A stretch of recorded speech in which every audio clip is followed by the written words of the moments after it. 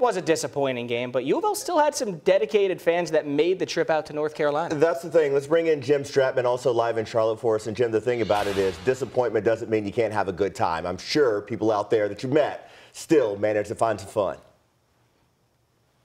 But you could say that it was kind of a melting pot of emotions at the end of this game, Eric. Uh, lots of people obviously filled with a lot of disappointment as to how the game turned out, even what they saw on the field. But when I was chatting with people, a lot of hope as well uh, for what they saw throughout the rest of this season. Thinking back to what it was like a few years ago and now to see what this first season under Jeff Brohm has brought them, there is a lot of hope still that things are going to continue to get better and that they'll be right right back here in the next couple of years?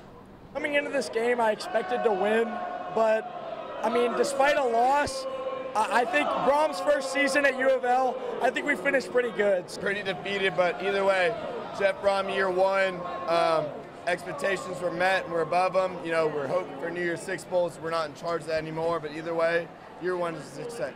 It was a great season. I think we had the best season we've had in a long time.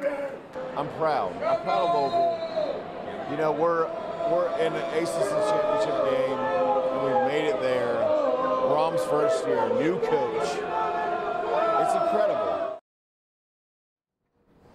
Yeah, you could hear kind of that common theme th uh, throughout all of those people chatting with us.